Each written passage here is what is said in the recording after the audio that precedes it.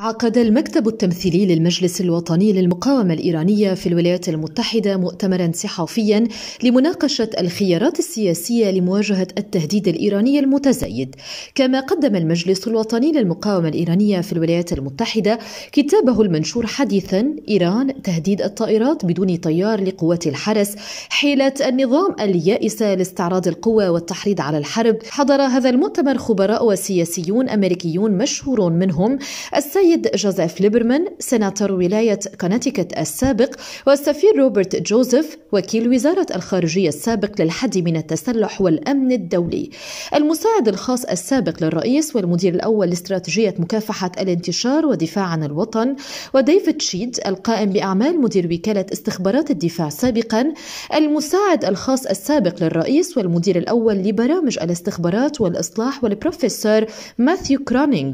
نائب مدير مركز سكوكرافت للاستراتيجيات والأمن ومدير مبادرة الاستراتيجية العالمية The Atlantic Council وجوناثان رو مدير جينسا للسياسة الخارجية. وكان علي رضا جعفر زاد نائب مدير المكتب التمثيلي للمجلس الوطني للمقاومة الإيرانية في الولايات المتحدة NCRI US يدير المؤتمر حيث قال في مستهل المؤتمر إننا نكشف للمرة الأولى عن عدد من شركات الواجهة التابعة لقوات الحرس IRGC التي تدير برنامج الطائرات من دون طيار. والسيد جوزيف ليبرمان سيناتور ولاية كونيتيكت السابق كان متحدث التالي في المؤتمر وقال لدينا تهديد الإرهاب المستمر للولايات المتحدة بما في ذلك الإرهاب الذي ترعاه حكومة جمهورية إيران الإسلامية. وقال السفير روبرت جوزيف وكيل وزارة الخارجية السابق للحد من التسلح والأمن الدولي المساعد الخاص السابق للرئيس والمدير الأول لاستراتيجية مكافحة الانتشار والدفاع عن الوطن